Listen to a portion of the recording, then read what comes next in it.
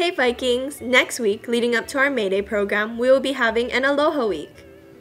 Monday is our OUVA contest, so be sure to keep up to date with your class so that you know what colors to wear for the competition. Tuesday is Lei Day.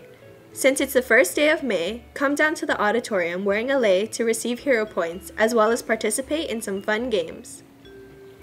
Wednesday is a walk through Asia. Express some Asian culture in your outfit as well as participate in cultural demonstrations. Thursday is the cultures of Polynesia, so again, channel some Polynesian culture in your outfit. We will be having games and lots of prizes, which you can easily win just by participating. Lastly, we have Aloha Friday.